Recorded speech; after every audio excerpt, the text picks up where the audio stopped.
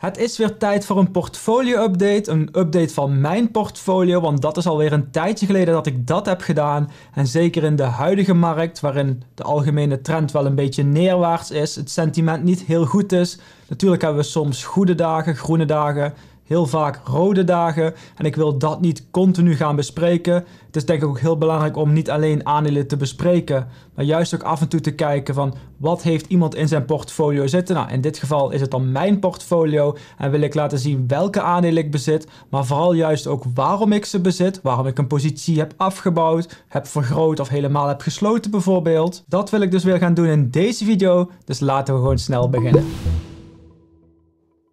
Leuk dat je kijkt naar weer een nieuwe video van een passiefinkomen.nl. Een kanaal waar we werken aan een toekomst met meer vermogen en meer vrije tijd. Een grote, groot deel van die manier om mijn vermogen te bereiken doe ik door middel van beleggen.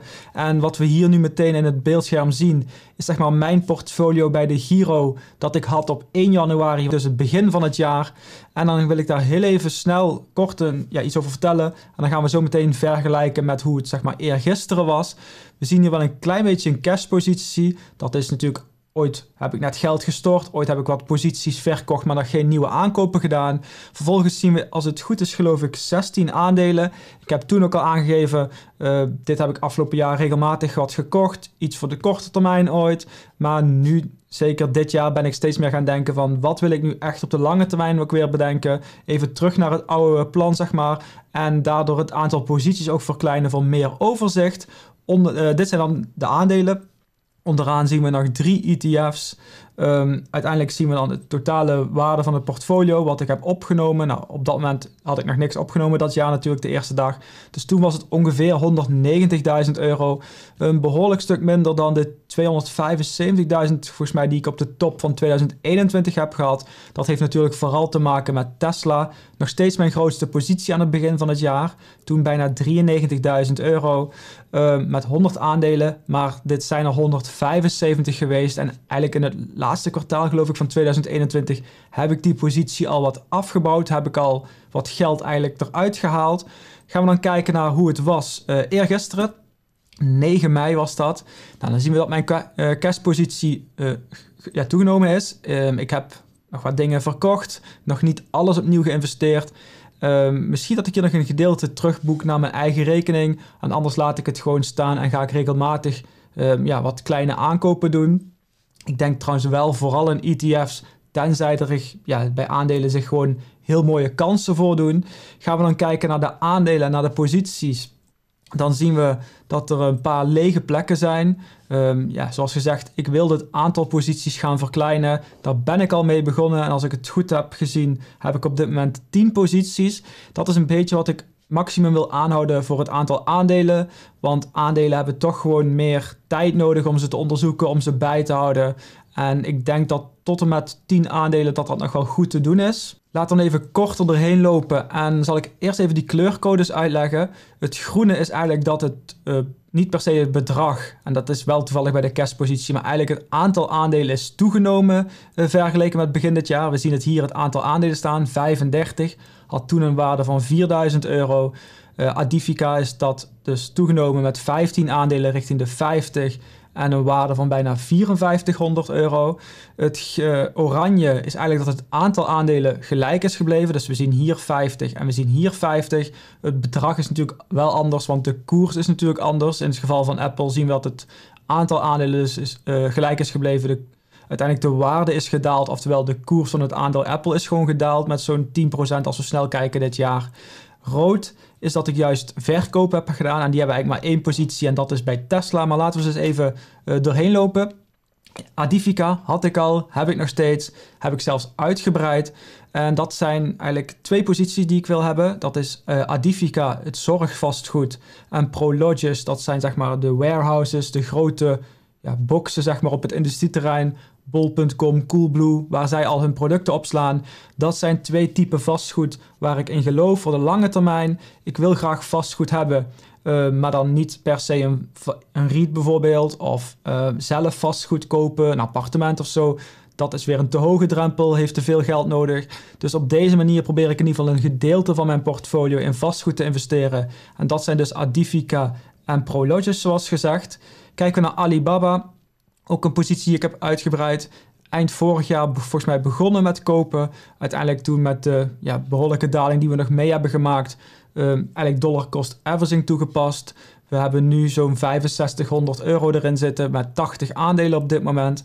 Dit is trouwens wel 9 mei. Gisteren 10 mei waren alle beurskoersen weer een stuk hoger. Dus het ziet er misschien nu iets positiever uit. Maar ja, dat is weer van dag tot dag. Dus laten we vooral even kijken naar hoe het over de lange termijn gaat. Kijken we dan naar Apple, niets aan veranderd.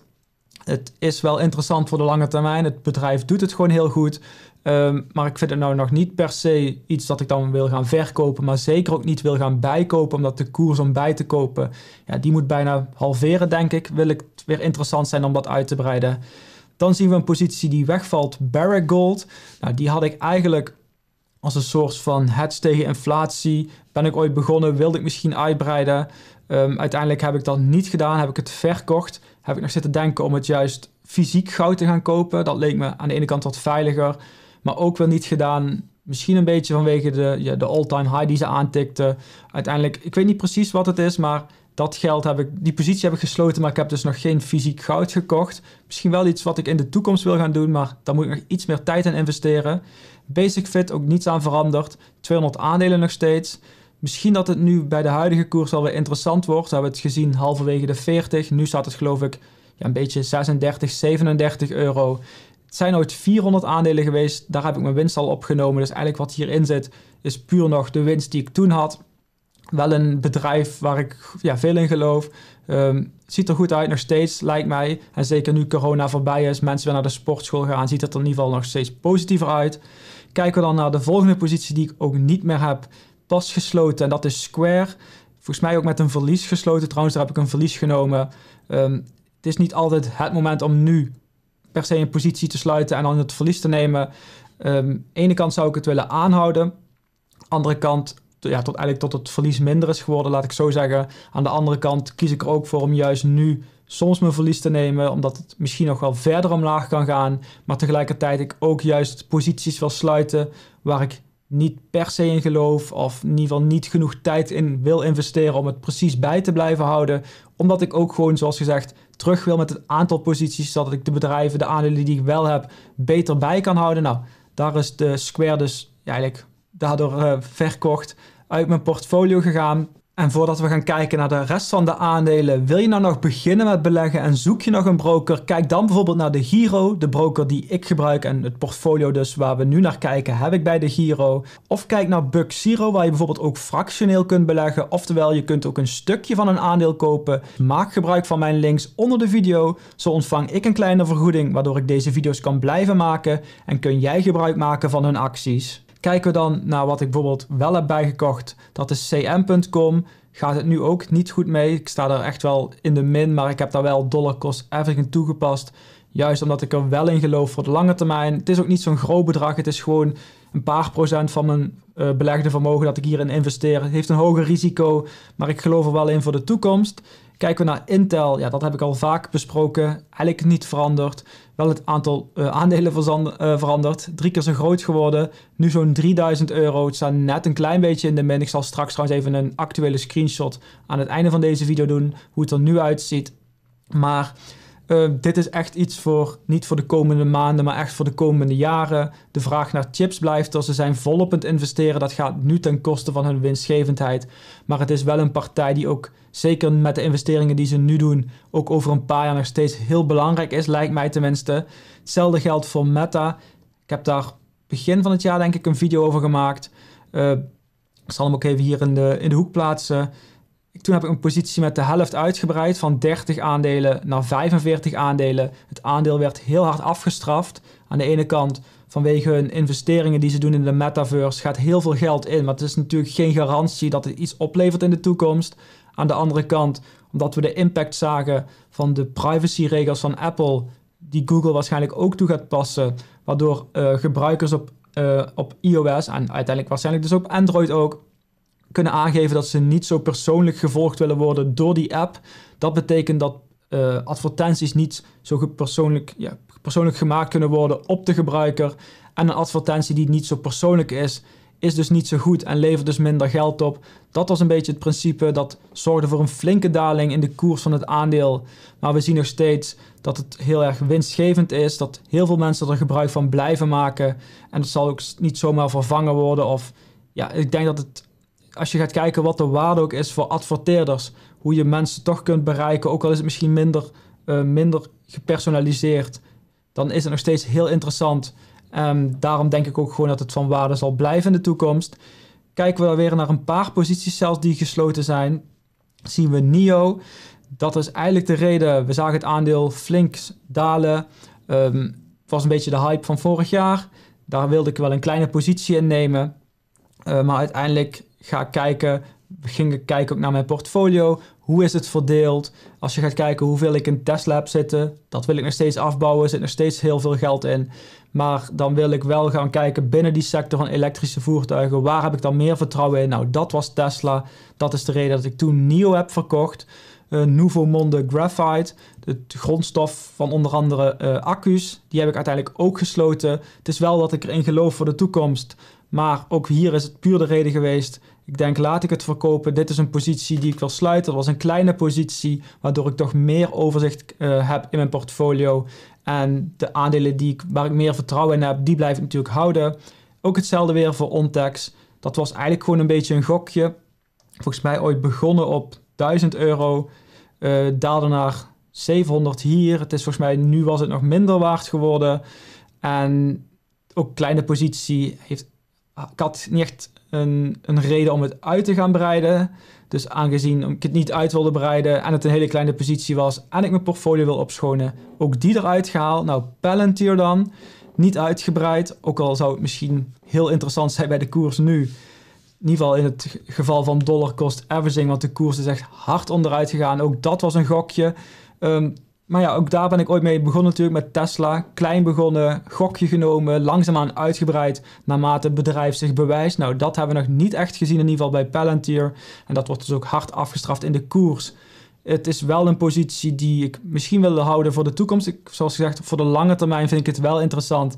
Maar nu wil ik wel eerst weer meer zekerheid voordat ik mijn positie uit ga breiden. Pinterest dan, dat was gewoon een gokje. Was eigenlijk bedoeld als een korte termijn um, aandeel. We, zagen een flinke daling. Ik denk, oh, dat gaat wel een keer herstellen. Heeft het trouwens ook gedaan toen uh, het gerucht er was dat Twitter het over zou nemen. Alleen toen weer net dat moment gemist voor de verkoop. Uiteindelijk met een verlies verkocht.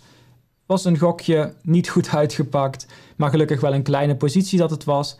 Prologis heb ik al besproken. Komen aan bij Tesla. En daar zien we dat het uh, opnieuw gehalveerd is. Um, ik heb het gedeeld via mijn Instagram. Daar geef ik vaak wat, wel wat actuele informatie. Ook als ik een aankoop of een verkoop doe, geef ik regelmatig wel aan. En wat het hierbij was, ik had zelf berekend dat Tesla interessant was bij 700 dollar of zo om te kopen. Uiteindelijk zagen we de koers weer flink stijgen in één keer, heel snel de laatste paar maanden. Het tikte bij 900 dollar aan. Toen heb ik mijn eerste 25 aandelen verkocht. Had ik er nog 75. Niet heel veel later tikte het de 1000 dollar aan en bij 1015 dollar geloof ik dat ik wederom 25 aandelen heb verkocht. Het ging zelfs naar 1100 of 1150. Ik had eigenlijk aan de ene kant daar ook nog 25 aandelen willen verkopen, wederom winst nemen daar. Maar dat heb ik uiteindelijk toen niet gedaan, omdat ik ook dacht van ze zitten met een aandelensplitsing, dat kan misschien nog wel interessant zijn. Nou, inmiddels is de koers weer terug richting de 800 dollar. Dus dat kan misschien wel in de toekomst zijn als het weer ja, wederom flinke stappen gaat maken, die koers. Dat ik toch zeker nog steeds uh, een gedeelte daarvan verkoop. Het is niet zo dat ik niet geloof in Tesla. Maar het is vooral zo dat ik als ik ga kijken naar mijn portfolio, het nu nog steeds een behoorlijke positie is, een behoorlijk gedeelte van mijn portfolio. En ik wil gewoon nu meer spreiding gaan toepassen. Um, meer ja, vermogensbehoud eigenlijk. De groei heb ik al gehad. Die wil ik natuurlijk nog wel hebben in de toekomst. Maar het behoud van vermogen is gewoon steeds ja, heel belangrijk. Dat waren dus eigenlijk mijn aandelen. Terug naar 10 posities. Kijken we dan naar mijn ETF's vervolgens. Daar zien we dat de eSports ETF uh, eruit is gegaan. Kleine positie, ik wilde meer overzicht. Ook hier geldt dat voor. Ik wil wel een keer een extra ETF toe gaan voegen, maar ik weet nog niet welke precies. En waar we dus hier wat kleine toevoegingen zagen, maar vooral een flinke daling, zien we die eigenlijk waar die naartoe is gegaan. Dat is voor een groot gedeelte VWRL. Die positie is meer dan verdubbeld. Inmiddels 450 aandelen voor bijna 44.000 uh, euro. En de S&P 500 ETF, die is verdubbeld en was zo'n 7200 euro waard. Nou kijken we alles in het totaal, dan zien we dat op dat moment eergisteren dus ongeveer 145.000 euro in mijn portfolio had staan bij de Giro. Inmiddels heb ik ook 10.000 euro terug overgeschreven naar mijn eigen rekening. Dus dat is eigenlijk ook nog iets wat we moeten vergelijken met hier. En dan zou het dus 155.000 euro zijn geweest als het er nog in had gezeten, die 10.000 euro. Een afname van zo'n 22,6% is een flinke afname. Maar als we gaan kijken naar de ja, hele wereld of naar de hele beurs eigenlijk, de AX, die doet het beter. Die heeft een kleinere daling gezien. Ook de S&P heeft een kleinere daling gezien. Maar dat zijn toch ook wel regelmatig wat tech-aandelen die ik heb. Um, kijken we dan de Nasdaq, die heeft een grotere daling gezien. Die zitten zelfs iets boven mijn percentages. Als je het zo gaat kijken, vind ik niet eens dat ik het heel slecht heb gedaan. Um, het kan natuurlijk beter, maar de hele markt gaat slecht op dit moment. En ik denk dat het wel goed is geweest dat ik um, winst heb genomen. Twee keer op dit moment bij Tesla. En dat ik dat inmiddels heb verdeeld. Minder aandelen, meer spreiding. Ja, het klinkt raar eigenlijk, minder aandelen, minder posities, maar wel betere spreiding, denk ik dat ik het zo beter uit kan leggen. En zoals gezegd, het zorgt er gewoon voor dat ik ook meer overzicht heb. Ik denk dat het ook heel belangrijk is, zeker in de markt waarin we nu zitten, dat niet altijd alles zomaar stijgt. Dat we juist weer heel goed onderzoek moeten gaan doen. Um, ik heb nog wat posities die wat risicovol zijn, zoals Palantir misschien, Meta zou kunnen. Um, dat zijn wel dingen, Alibaba, dingen die je goed in de gaten moet houden, waar je telkens goed onderzoek naar moet doen. En dat is wel iets wat ik altijd bij Tesla heb gedaan, ook zeker in die beginfase toen ik begon met aandelen kopen, 2016, 2017, was een hoog risico, maar ik hield wel dagelijks eigenlijk alles bij over het aandeel. Dus toen was het wel risicovol om erin te stappen, maar dat begon met kleine bedragen. Uiteindelijk heb ik telkens een beetje bijgekocht naarmate ik meer wist en meer vertrouwen had in het aandeel. Um, volgens mij uiteindelijk 17.000 euro erin gestopt. 170.000 euro is het waard geweest. Dus dat ging keer 10. Kan misschien ook wel een beetje een gelukje zijn. Maar ik denk dat het zeker ook wel zo is dat het wel risico was, maar wel goed gewogen, goed overwogen risico. Juist omdat ik er veel tijd aan besteedde. En dat hoop ik uiteindelijk nu ook te gaan doen met een wat kleiner uh, portfolio. In ieder geval het aantal posities die wat kleiner is. Posities die gewoon regelmatig waar ik uh, onderzoek naar moet doen, nieuws bij moet houden. En dat is dus eigenlijk wat ik nu probeer te bereiken. Is het dan perfect? Nee, zeker niet. Het zal ook nooit perfect zijn, maar ik probeer natuurlijk wel telkens als ik fouten maak en ook ik maak fouten, daar wel van te leren, uh, daar wel iets aan te veranderen, waardoor ik in de toekomst in ieder geval niet dezelfde fouten maak, waardoor ik uiteindelijk natuurlijk hoop dat op de lange termijn mijn portfolio wel gewoon groeit. Maar tot zover dus een overzicht, een update van mijn portfolio. Misschien iets langer dan een korte update, maar ik denk wel dat het belangrijk is om bepaalde posities toe te lichten. Je kunt zien welke ik had, welke ik nu nog heb en waarom ik juist bepaalde veranderingen heb doorgevoerd. En ik denk dat het juist belangrijk is om deze kennis met elkaar te, te delen, fouten die we maken met elkaar te delen, zodat we kunnen behouden van elkaar, informatie met elkaar te delen. Dus doe dat vooral ook via de reacties onder deze video. Laat weten welke aandelen je nu aan het bekijken bent. Geef feedback op mijn portfolio. Ik denk dat het altijd interessant is voor mij, maar ook ook zeker voor de kijkers die meer informatie dus onder de video kunnen vinden. Vond je het een leuke video? Geef dan zeker even een duimpje omhoog. Wil je meer video's zien, maar ben je nog niet geabonneerd op het kanaal? Klik dan op abonneren onder deze video. Wil ik jou bedanken voor het kijken en hoop ik jou bij de volgende video weer te zien.